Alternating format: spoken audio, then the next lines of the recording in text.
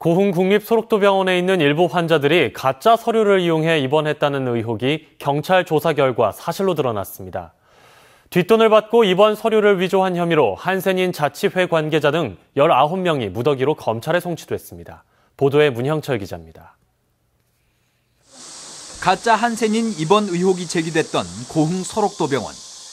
경찰 조사 결과 전 한센인 자치회 간부 등이 부정 입원에 가담한 것으로 드러났습니다. 입원에 필요한 서류인 병력지를 허위로 만들어주는 대가로 환자 3명으로부터 많게는 200만 원의 뒷돈을 받아 챙겼다는 겁니다. 여기 소로트 사람들은 다 알고 3년이 넘었는데 민원도 원장한테도 올리고 막 그랬던가 봐요.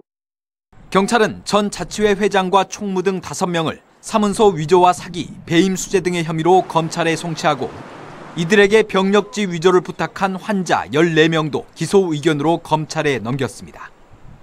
한 환자는 자신의 아내까지 소록도 병원에 입원시키기 위해 자치회 관계자들에게 돈을 건넨 것으로 알려졌습니다.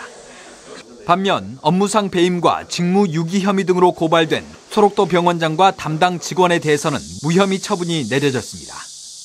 실질적으로 몰랐고 그렇게 입원하지 못하게 도치겠다고 치라고 그랬기 때문에 허위 서류를 이용해 입원한 14명은 아직도 소록도 병원에 남아 있는 상황. 병원 측은 검찰 기소 시점에 맞춰 이들을 퇴원 조치하겠다고 밝혔습니다. MBC 뉴스 문형철입니다.